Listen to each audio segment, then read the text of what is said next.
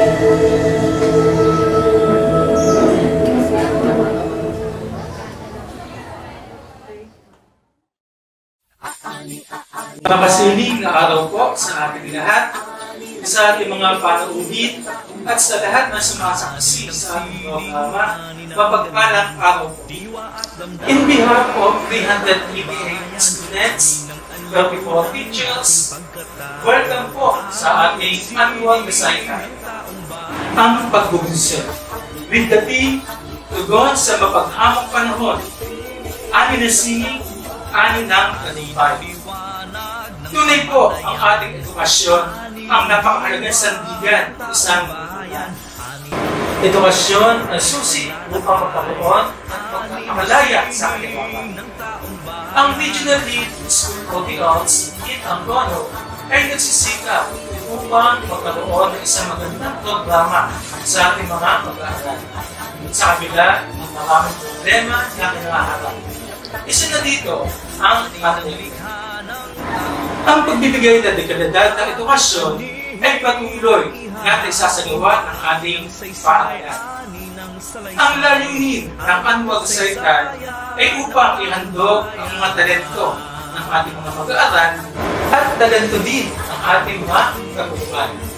At upang maipakita ang pagkamalikhain ng ating mga mag-aaral sa pamamagitan ng spoken visual poetry, film festival, of exhibit, play, dance performance, at music concert. Mula sa junior high school hanggang senior high school, nagaganapin ngayong araw na ito, June 20 hanggang June 25, 2022. Siguro, naisip natin, paano na ito na sa? Ang maalam na pangunais sa puso ng ating at nalugpuro sa sining ang nagsilbing ilaw at gabay upang lalo pa nilang mapabuti at mapagyaman at kaalaman ng ating mga mag-aaral.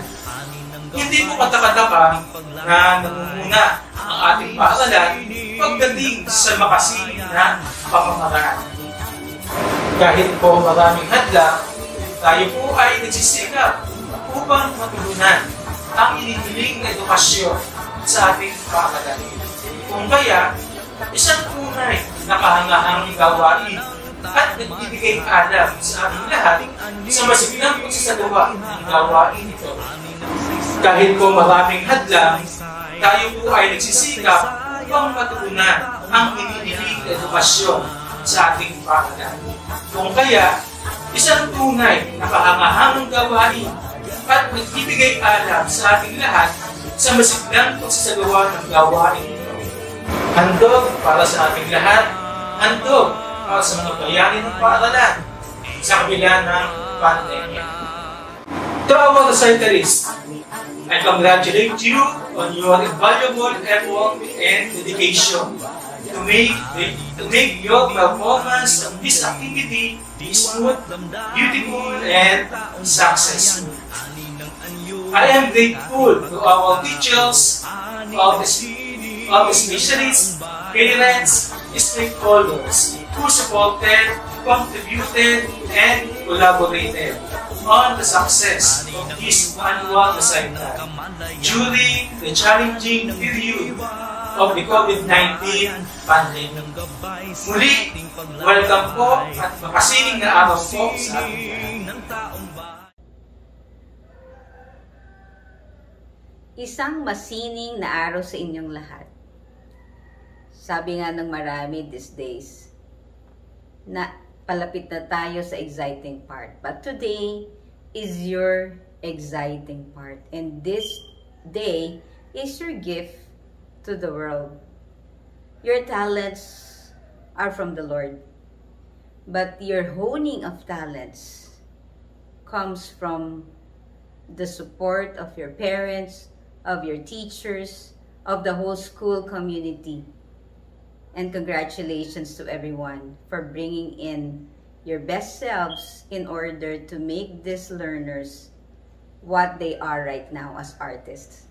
To the family of Regional Lead School for the Arts in Angono, of course, under the leadership of uh, Sir Edgar Dinoso. Congratulations to all of you, my fellow teachers, my fellow employees of the Department of Education. You did great.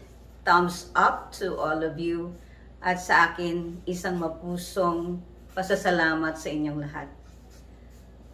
Salamat sa araw na to dahil binigyan nyo ng pagkakataon na may pakita yung mga talents na meron kayo. Kasi alam nating lahat na ang mga talents na to ay magpapangiti sa maraming tao magpapasaya at magbibigay ng panibagong inspirasyon sa bawat isa. Talents are meant to be developed. Talents are meant to be shared. Talents are made also to become part of the whole community. Hindi pwedeng itinatago, hindi pwedeng kinakanya lamang. Lagi ang talents ay nandyan para ibahagi, ipahayag, ipakita sa lahat ng ating mga, mga kababayan at mga kapwa, uh, siguro sa inyong part ng mga bata, kapwa kabataan. Kasi para magbigay rin ng inspirasyon sa kanila na hindi pang mayaman ang sining. Hindi lamang para sa mga batang may kakayanan na mag-aral sa iba't ibang tawag nila conservatory. Ang lagi nating pinopromote sa Rizal no, at sa buong Calabarzon. Ang sining ay para sa lahat. Ang sining ay isang, alam mo yun, isang ibinigay ng Panginoon na dapat lahat ay may access. Kaya sa inyo, sa inyong mga narito ngayon na nagtiwala sa Regional Lead School for the Arts in Agono, sa ating, of course, sa LGU ng uh, ang gono na laging nandyan to support all our learners and our school community. Kay Mayor um, Jerry, Jerry May Calderon, salamat po sa inyo for making it sure that our children, our learners would always remain uh, feeling good and feeling supported. Salamat po sa inyo. Totoo naman, no? Support feels. At dahil nga nasa exciting part na tayo ngayong linggong ito, grabe, no? Isang linggo na punong-puno ng sining. Ito yung ating patuloy na patuloy nating pinapangarap na manatili sa ganitong level ng excitement ang mga bata. I remember it was 2014 when we conceived the um, setting up of elementary schools with special program for the arts. It was because we wanted our grade 6 graduates who would like to enroll in the school, in this school, would feel na they are very much ready. The passion is there already. The talent is developed at a certain level. The direction on whether gusto ba niya sa isang ano sa isang sabi nga sa isang career na pang arts kailangan alam na yon ng mga batang papasok sa eskwelahan na to. At yun yung narating natin ngayon. We're able to see that our grade 7 students are more prepared than before. Kaya congratulations po sa lahat, especially sa mga parents na nagtiwala sa paralan at sa DepEd para sa kanilang mga anak. Marami pong salamat sa inyo. At ganun din, syempre, sa ating mga kapwa guro na hindi natitinag sa mga specialist natin na kasama natin para talagang mabigyan ng pansin ng mga talents ng ating mga batang Rizaleño. Thank you so much sa inyo. Hindi magiging exciting ang araw na to kung hindi kayo naging excited kaya ang exciting part ay dahil sa mga excited na tulad natin. Kaya ano pang hinihintay natin? Let's proceed. Anihin natin because this is our harvest week. Anihin natin ang mga talentong meron sa mga kabataan natin at anihin natin din ang tagumpay na ito ngayong linggong ito. Again, thank you so much sa inyong lahat. Puso para sa inyo at mananatili tayong nandito kasama siyempre si RD Pancet Bringas ng Calabarzon na patuloy na maglilingkod, patuloy na kakalinga, patuloy na magmamaganda at magmamahusay para sa mga batang Calabarzon. Thank you sa inyo at tandaan nyo, pag kailangan nyo kami ni RD, nandyan lang kami. We're very near. We're just in Kainta. You just have to tell us when you need us for any form of inspiration, for any expertise that we might have or we may share to you. Narito lang kami para sa inyo dahil kaming dalawa tunay na nagmamahal sa sining at nagmamahal sa inyo. Thank you sa inyong lahat and God bless. Mahigpit na yakap. To our stakeholders, Honorable, Honorable Mayor Jeremy Calderon and Vice Mayor Jerry Calderon, and Sangguniang members. The Sangguniang Barangay of San Isidro, our private partners, the very supportive parents, our schools division superintendent, Ma'am Susan Oribiana, our two assistant schools division superintendent, Ma'am Babylin Pambid and Ma'am Gloria Roque, our CID chief, Ma'am Rosemary C. Blando, our two district supervisors in Nangono sub-office, Sir Magno Abueme and Ma'am Merly Lopez, and of course, the school head of Regional Lead School for the Arts, Sir Edgar Dinyoso and his teaching force, at ang bida sa ating mahalagang araw ngayon, ang mga mag-aaral ng Regional Lead School for the Arts na siyang nakatakdang magpakitang gilas sa kanilang recital. Magandang araw sa inyong lahat. Sa mga panahong nagdaan ng ating mga naranasan, lubhang napakahirap para sa atin, lalo na ang mga mag-aaral, kung paano ba sisimulan ang isang mapaghamong anyo ng ating buhay.